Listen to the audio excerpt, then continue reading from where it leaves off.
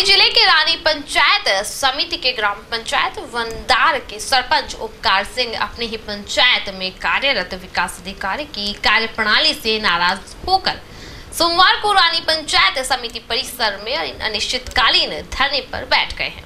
वनदार सरपंच ओमकार सिंह ने उप अधिकारी और विकास अधिकारी को दिए ज्ञापन में बताया कि ग्राम पंचायत में कार्यरत विकास अधिकारी अजयत सिंह अतिरिक्त समय पंचायत में अनुपस्थित रहते हैं। और अपनी मनमानी करते हैं। कौरम और वही विशेष ग्राम सभाओं की बैठकों की कार्रवाई कलम बंद नहीं करते हैं।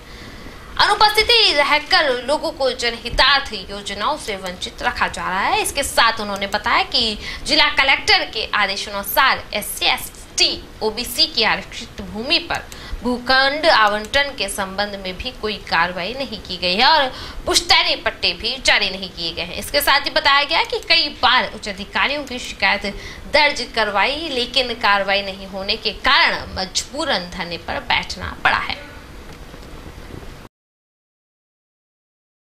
रानी पंचायत समिति के बंदार ग्राम पंचायत के सरपंच ओकार सिंह अपनी मांगों को लेकर दो दिन पर आश्रम पर है, धरने पर उनकी मांगे हैं कि उनके कर्मी भी अपने समाज के प्रति लापरवाही बढ़ते हैं। वह अपने उस अधिकारी को कई बार अपने पत्र के द्वारा व्यवहार भी किया, लेकिन आज तक उस अधिकारियों ने कोई कार्रवाई नहीं की। छिवाड़ा से गोविंद सत्य